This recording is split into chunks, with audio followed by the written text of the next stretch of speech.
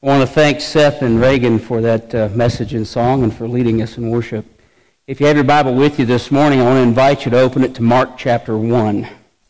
Mark chapter 1, and part of the sermon is going to sound a little bit like the last sermon I preached in January, and, uh, but we're going to take it just a step further. In January, I preached from Mark chapter 1, and the bulletin is not wrong. The scripture we're going to use for this morning's text is Mark chapter 2, verses 1 through 12. But what I want to do is I want us to tiptoe through and walk very quickly through the events that take place that lead us up to Mark chapter 2, verses 1 through 12. So if you've got your Bibles and you want to follow along, um, I'm going to be paraphrasing and we're going to try to hit all of those events that take place. Mark opens up this book by saying in verse 1, This is the beginning of the ministry of Jesus the Messiah, God's Son. And the beginning of the ministry of Jesus the Messiah, God's Son, really begins before Jesus is on the scene with his ministry beginning because God is preparing the way. And so Mark quotes Isaiah the prophet who wrote this some 600 years before it actually happened. And so I want us to think about this for just a moment. 600 years ago, Isaiah wrote this, and you're one of the men there with Jesus, and you get to see it lived out in real time. How incredible would that be? It talks about there's going to be a voice in the wilderness calling, and, and, and that's what Isaiah said was going to happen. And then Mark says John the Baptist did come, and he preached a message of repentance and baptism for the forgiveness of sin.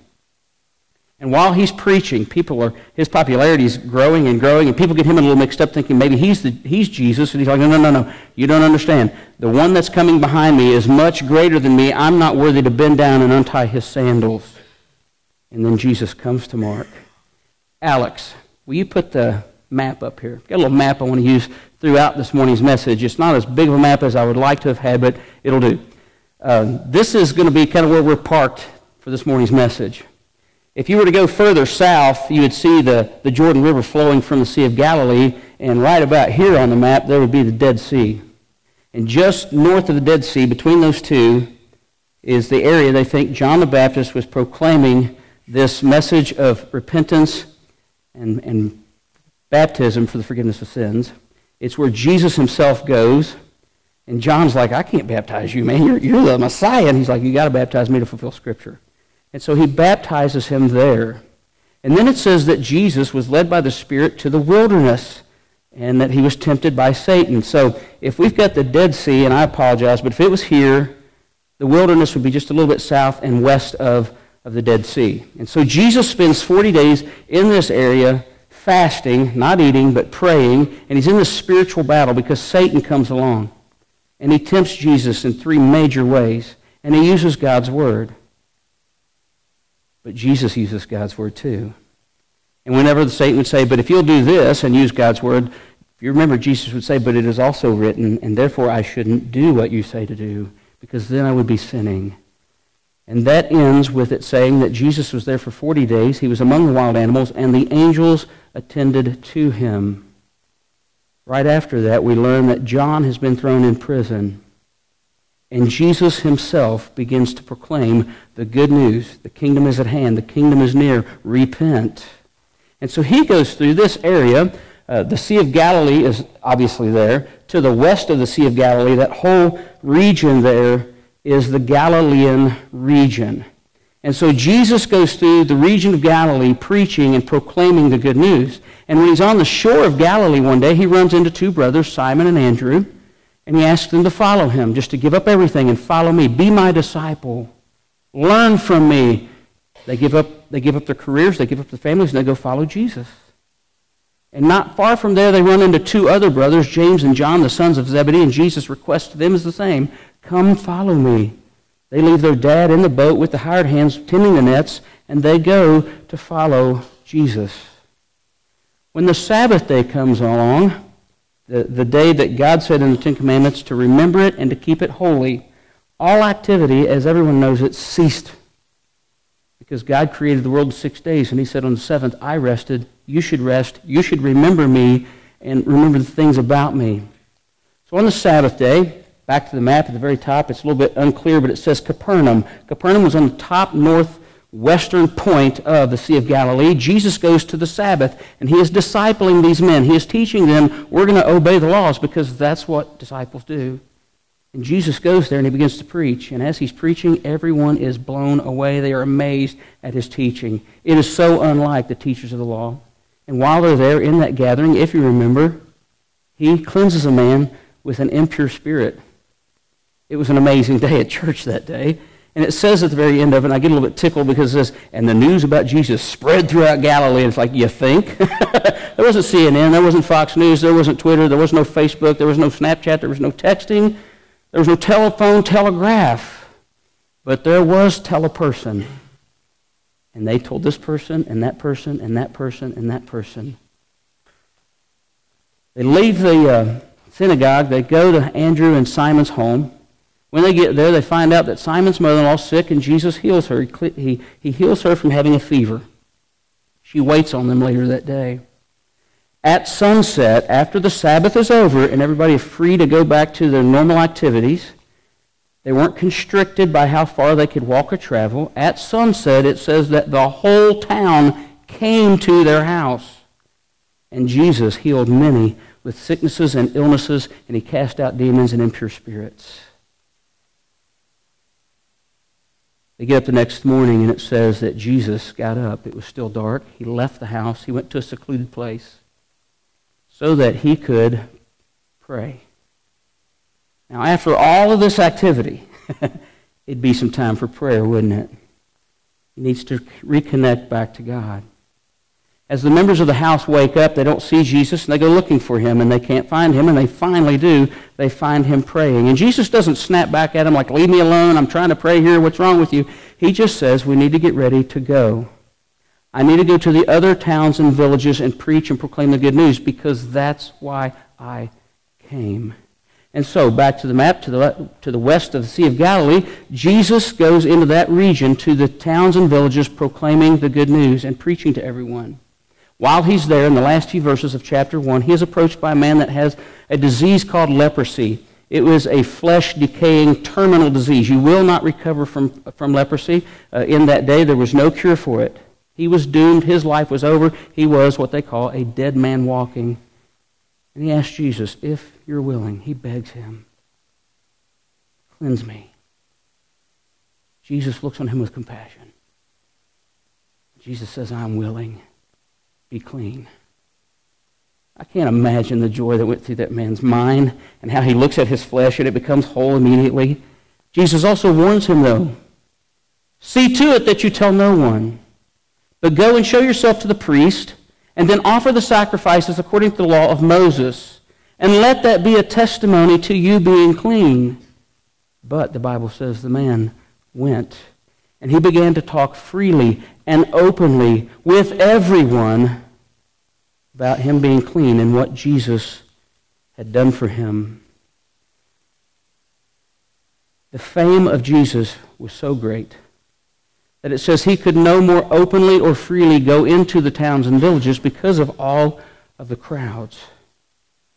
And it's like, man, we were like, choke that guy with leprosy that got healed. You know, how dare him? Jesus just healed. But I want to tell you something. I want you to think about this.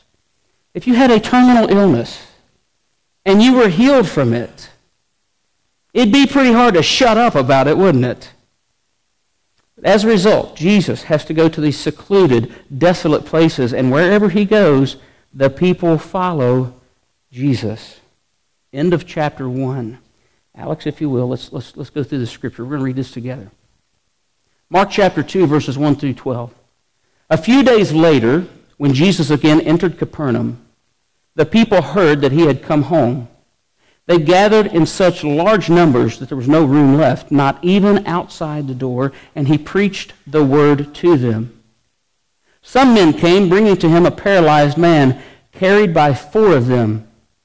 Since they could not get to him, or since they could not get him to Jesus because of the crowd, they made an opening in the roof above Jesus by digging through it, and then lowered the mat the man was lying on.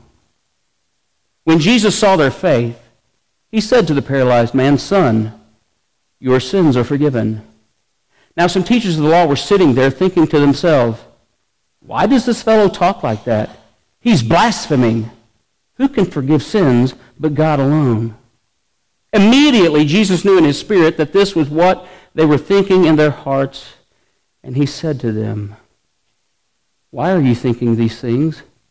Which is easier to say to this paralyzed man, Your sins are forgiven, or to say, Get up, take your mat, and walk?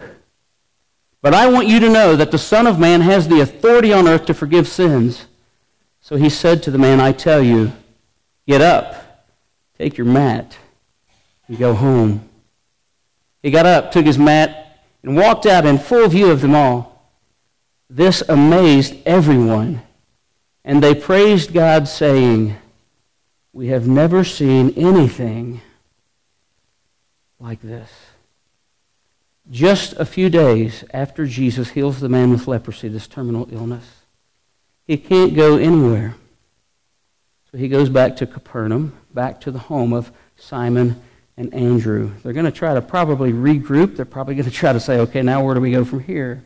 He doesn't arrive with any fanfare, and I would imagine that if given the chance, he would have probably put on sunglasses and a hoodie and try to just stroll through town and not be seen. But they find out where Jesus is when they learned that he was in the house. So many people came to that house that there was no more room in the house. There was no way to get in and out of the door.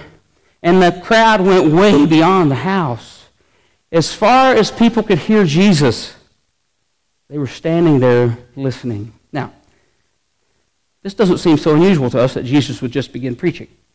But I want you to think about this. If you're at home and this big crowd shows up and, and um, women, I'm not being a chauvinist, but you're probably going to be wondering, how are we going to feed all these people? How long are they going to stay? Do we have enough toilet paper in the bathroom? Do we have enough tea? Do we have enough lemonade? Man, what about the water supply? And Andrew and Simon, you know, if I were them, I'd be like, man, you guys messing up the house. Get rid of them. And if I was Jesus, after doing all of that, what would I want to do? I'd probably like, get out. Leave me alone for just a few minutes. At least give me a day, okay? But what does Jesus do? He begins to preach. It's like, well, we don't have anything better to talk about, do we? No, really, is there anything, and that's what I want to lay with you for now. I just want you to have this in the back of your mind. What better do we have to talk about? This week, while you're at work, or while you and a bunch of buddies are hanging around, or a bunch of you girls are talking, whether it's at school or whether you're, you're at your job, in your cubicle, or whatever, pay attention to what everybody's talking about. I'll bet you they're talking about some computer program, some phone app, what was on Facebook, what was on Twitter, the fuel mileage that they wish they could get that they don't get, the new truck they'd like to have, the, the new whatever. We'll talk about the weather. We'll talk about the president. We'll talk about the nukes. We'll talk about North Korea. It's endless. But when's the last time you stopped somebody in a crowd and said, I want to share with you what God's done for me? Think about that. Jesus begins to preach. And all the time that's going on, there's something else going on. There's a group of men. We don't know how big the group is, but there's a group of men. And within that group of men, there are five of them, four that are carrying a mat or a cot or a mattress.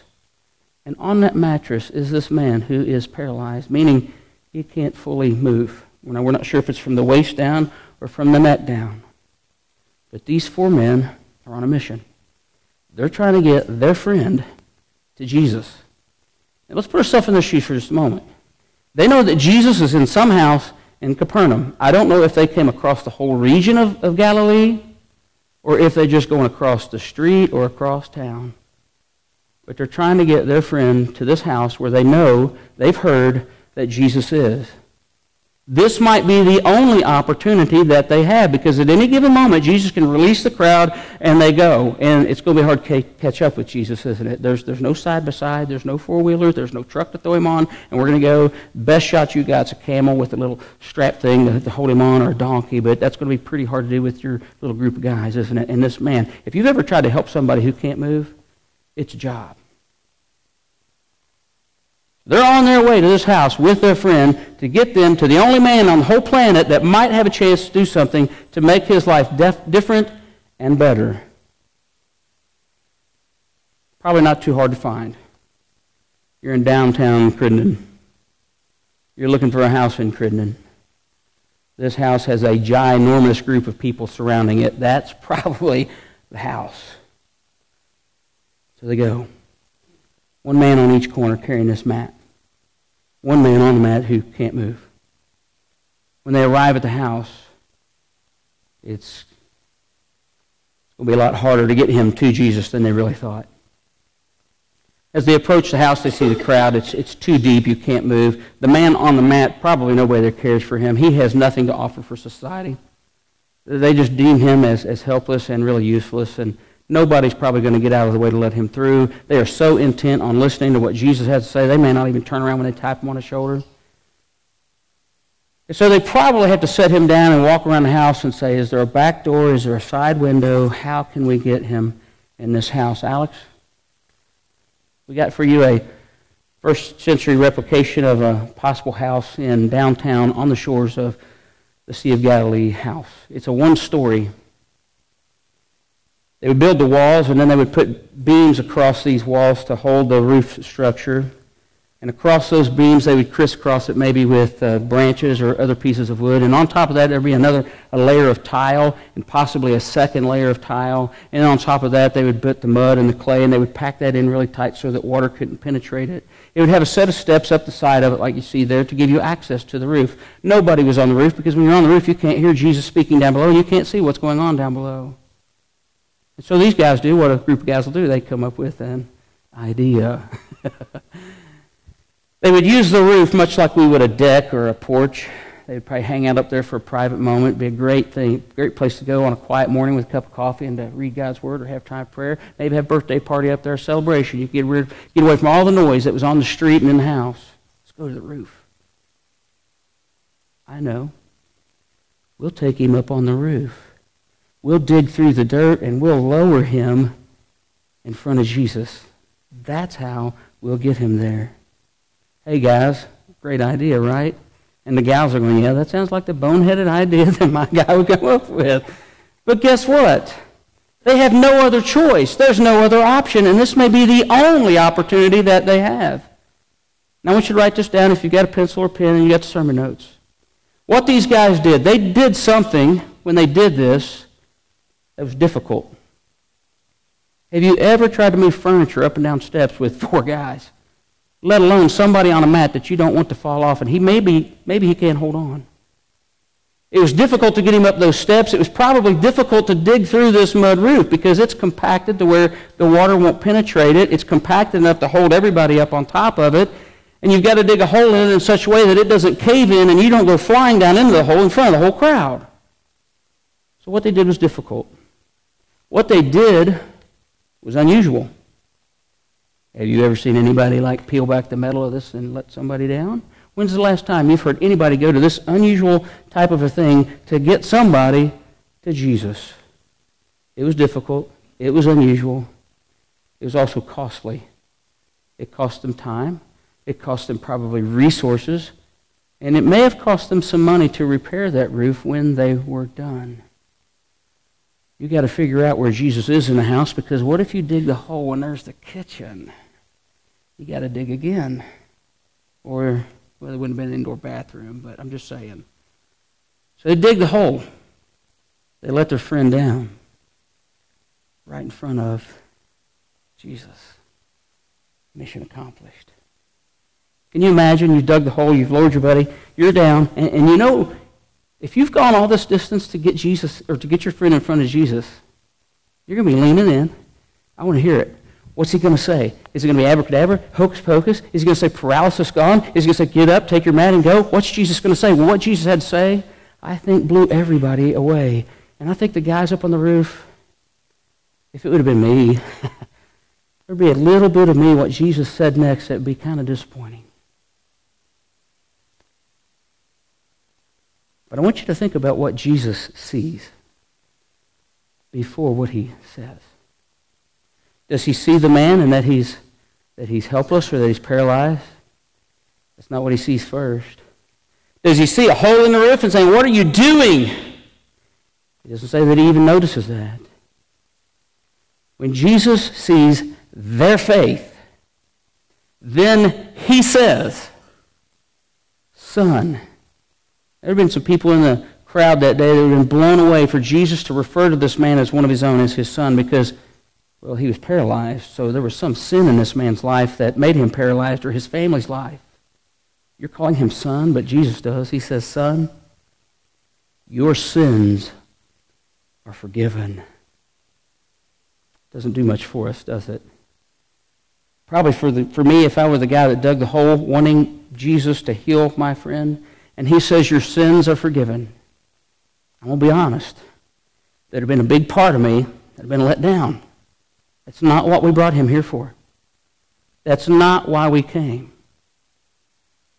But there were others in the crowd that had some other thoughts going on, not necessarily of the mind, but it says they were thinking in their heart. This had an emotional attachment to it. They were thinking in their hearts, why does he say that? That's blasphemy. No one can forgive sins but God and God alone. And Jesus knew in his spirit exactly what they were thinking. And so Jesus has some questions of his own. Why are you thinking what you're thinking? What would be easier for me to say that your sins are forgiven or get up and take this mat and go home?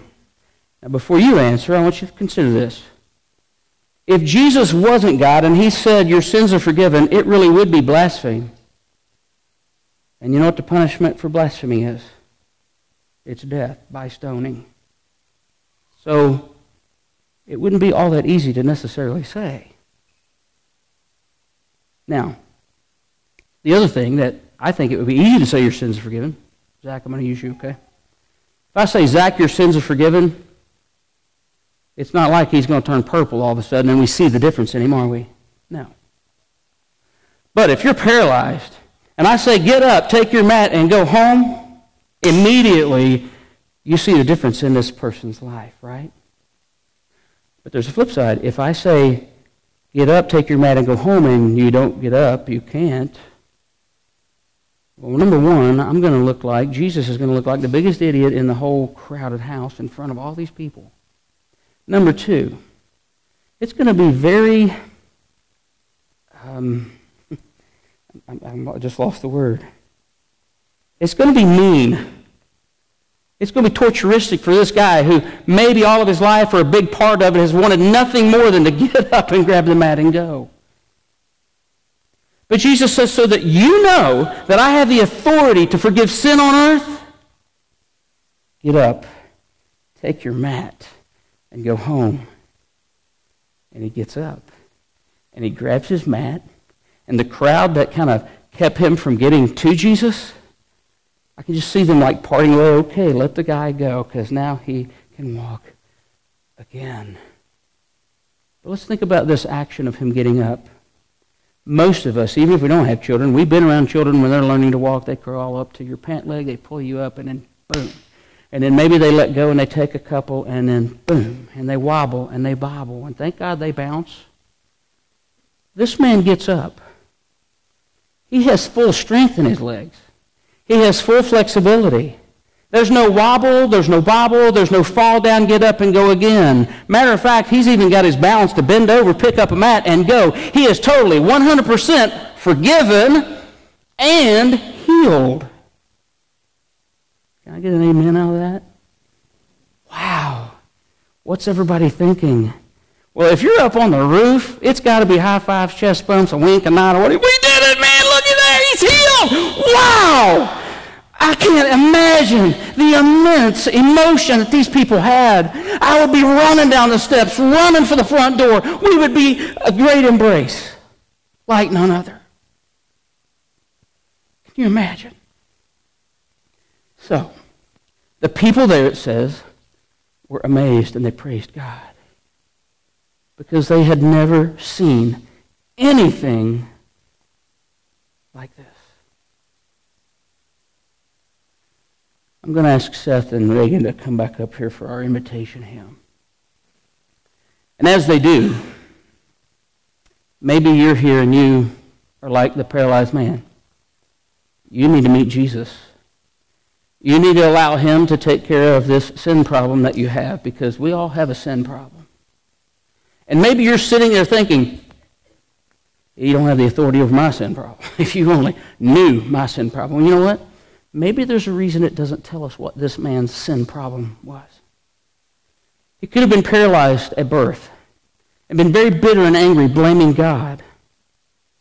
Maybe somebody caused him to be paralyzed and he had this unforgiving spirit. How dare they take my mobility away, my job away, my family away, my way of life away? Could have been none of those. Maybe he just had a lust problem, or maybe, maybe in his heart he, he had hatred for whatever reason. We don't know. But if Jesus had the authority over his sin problem, he's got authority over every one of our sin problems, whatever they are. In a second in a moment, we're going to stand and sing. And we want to invite you, if you need to come to Jesus, I want to encourage you to do so. Maybe you've already had Jesus take care of your sin problem. Well, this isn't over for you either. Because every one of us in this room knows somebody who has a sin problem that need to meet and to come to Jesus.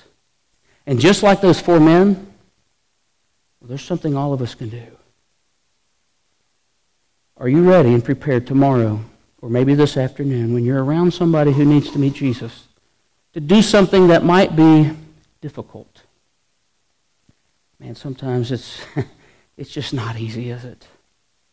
Maybe there's a conversation that you need to have with this person that's not going to be easy. Maybe there's a, a cup of coffee that you need to drink with them, and it's going to be difficult. Are you ready to do something that's unusual? Don't think just because I've invited them to church that's the normal thing we want to do. Well, that's okay. We want you to invite people to church. No doubt we're going to try to meet Jesus every time we, we gather. But let's not put God's will in this box of our thinking. There may be something like carrying somebody up the steps, tearing open a roof. You might have to do something that's costly. Maybe there's a lunch you have to buy. Maybe that difficult conversation, you're afraid and terrified that it's going to cost you the relationship. But I wanted to encourage you to be thinking about that person, the difficulty, the unusual, and the costly thing that you might have to do. Because if you can get them to Jesus, it's going to be amazing. We're going to praise God, no doubt. But the Bible's very clear that when a sinner comes to repentance and comes to the Lord, all of heaven rejoices. If you have a decision to make, we want to invite you to come as we stand and as we sing. But I want to encourage you this week go do the difficult, do the unusual if it takes that, and do the costly. There have been enough people tragically lose their lives here in the recent month. And I'm not trying to be morbid and I'm not trying to scare anybody. But I think we all got a pretty good idea that we never know. This might be the only opportunity that any of us have. Let's stand and sing.